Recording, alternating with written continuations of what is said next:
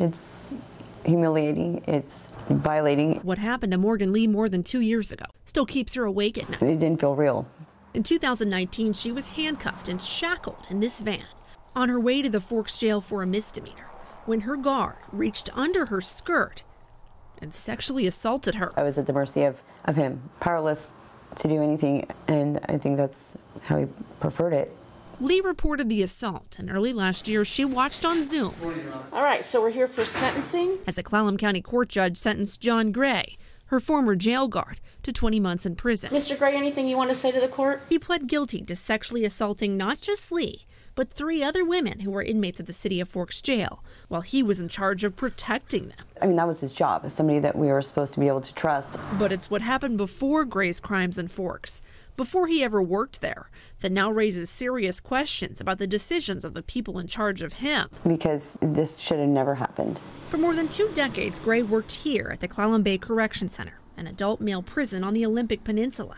Over his nearly 25 year career as a corrections officer, records show inmates and other prison guards made at least two dozen complaints against him.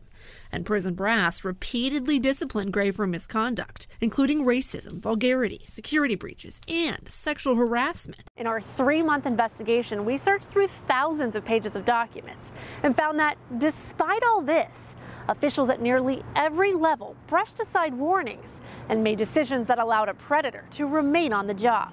The complaints about Gray started rolling in from the inmates he looked after.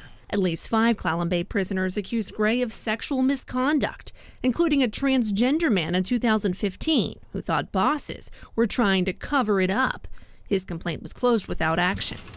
At least eight of Gray's own co-workers would soon report problems too. It was extremely toxic. Kimberly Seward was among them. I would call in sick because I knew that Gray was going to be there, and the thought of that was hopeless. Prison records show Seward repeatedly voiced her concerns, telling bosses her coworker harassed her and subjected her to a hostile work environment by yelling, making bigoted, sexual, and homophobic statements. And he acted like he was bulletproof, like nothing he said or did would get him in trouble, and he was pretty much right. Eventually, one of Seward's complaints led to disciplinary action.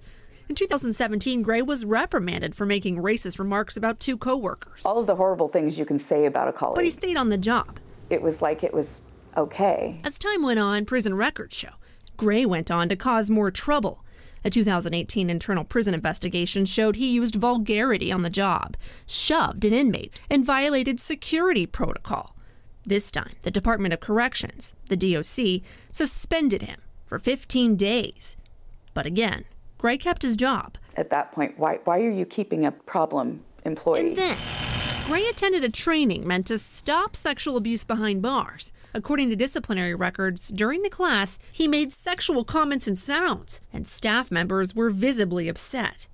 That was it. The prison superintendent told Gray he was no longer qualified for his job.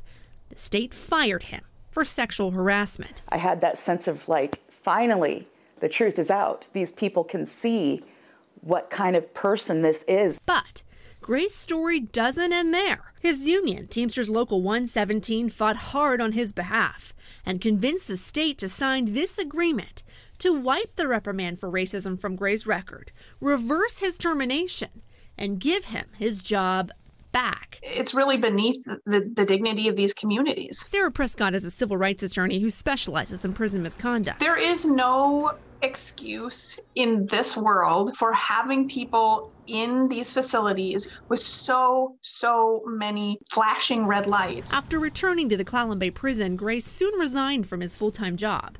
He stayed on as an on call guard and applied for a full time job at the jail in Forks.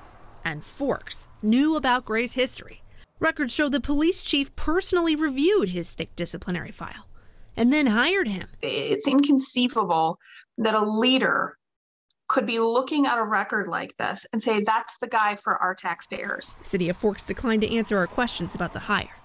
Over the next eight months at the Forks jail, in 2019, he went on to sexually assault Morgan Lee and at least three other women. And there was a fifth inmate, Kimberly Bender, who said she was a victim too of sexual harassment. I can tell just by looking at you that you know, this is really bothering you. During that investigation, the city got rid of Gray. The second time he'd been fired. But his career still wasn't over. I couldn't believe it. I'm like, why? Why? After getting fired from Forks, Gray asked the DOC to give him back his full time job. They did. And he got a raise. I was livid. Why would you take him back? You finally got rid of him. How did this happen? Internal emails and disciplinary records show it was Gray's local union, Teamsters 117, that went to bat for him, just as they'd done before. Gray's union rep convinced top prison leaders not only to rehire him, but to allow him to start fresh with no mention in performance evaluations of his troubled past. It is not unusual to see people that have really egregious files and histories be protected. I think a lot of this has to go ultimately to the people who could have stopped it. Teamsters 117 and the DOC declined to do interviews for this story. But in separate statements, they said they didn't know about Gray's misconduct in Forks when he returned to his full time prison job. And DOC officials added they had no reason to do another background check. The month after Gray returned to his full time job, his past in Forks caught up with him. He was arrested at work, charged and convicted of the sex crimes that forever changed Morgan Lee's life, Mr. Gray, anything you want to say to the court? and sentenced to return to prison, this time as a prisoner. I'm very sorry for everything. Taylor Muir Rusky, King 5 News.